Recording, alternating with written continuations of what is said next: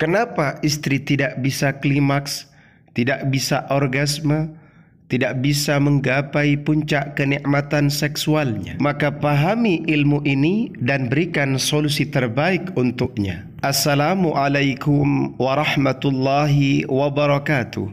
Bismillahirrahmanirrahim. Alhamdulillahi rabbil alamin. Allahumma salli ala sayyidina Muhammad kaum muslimin dan muslimat rahimakumullah.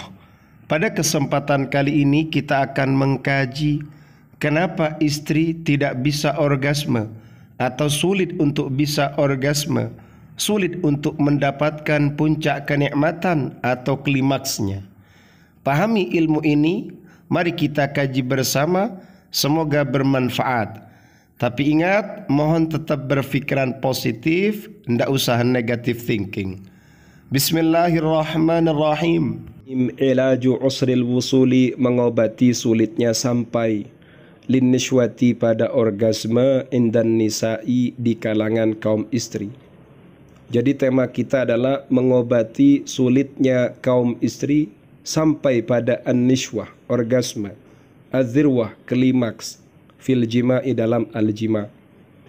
Yang pertama adalah al-awwal tajannubul mar'ati menghindarinya seorang istri mumarasatal adah asirriyah untuk mempraktekkan kebiasaan tersembunyi.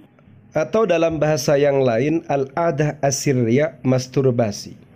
Yaitu seorang perempuan yang memainkan apemnya memainkan lubang apemnya dengan menggunakan jarinya atau media-media lain sehingga ia merasakan ar-ridha kepuasan sehingga ia bisa inzal keluar mani.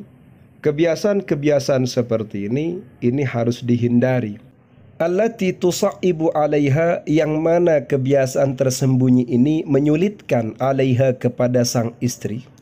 Al-wusul sampai linnishwati pada orgasme athna al-jima'i di tengah-tengah melakukan al-jima' Jadi yang pertama sang istri harus menghindari mempraktekkan kebiasaan tersembunyi atau al-ada asirya masturbasi.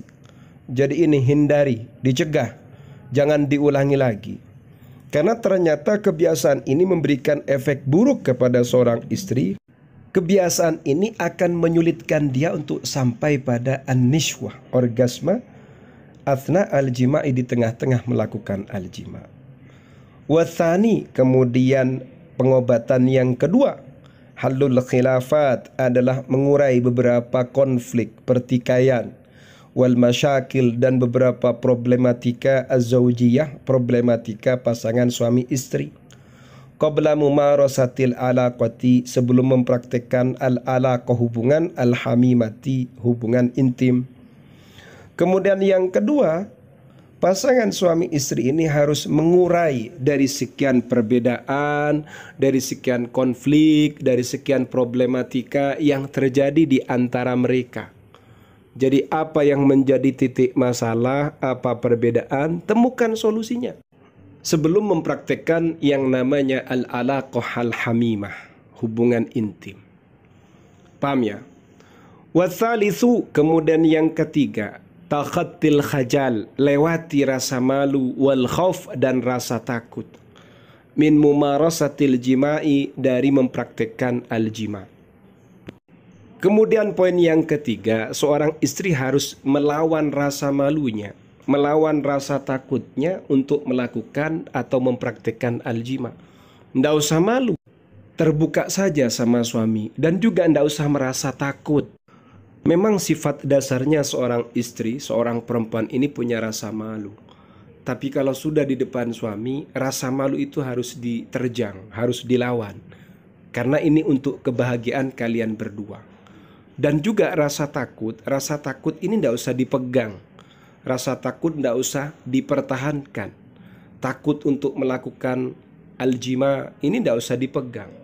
Apa yang ditakuti? Sakit, atau takut menyakitkan tidak asalkan dikonsultasikan dengan baik insya Allah suami bisa peka bisa pelan-pelan bisa memberikan pelayanan terbaik untuk bisa sampai pada aljima yang baik dan mantap Kemudian yang berikutnya adalah wa musarahatu zauji. Ihya al wad'iyat allati tuhibbuhal mar'ah.